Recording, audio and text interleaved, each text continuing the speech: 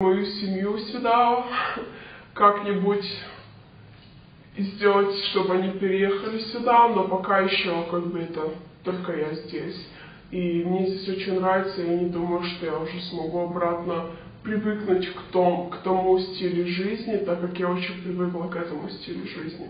А, Лора опять спрашивает, что самое хорошее и плохое о жизни в Америке? А самое хорошее это то, что здесь столько всего um, opportunities.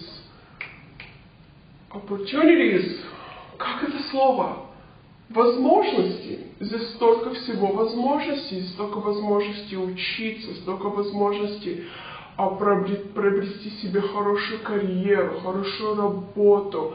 И даже именно мне нравится то, что здесь работаешь честно, работаешь много, и у тебя достаточно обеспеченная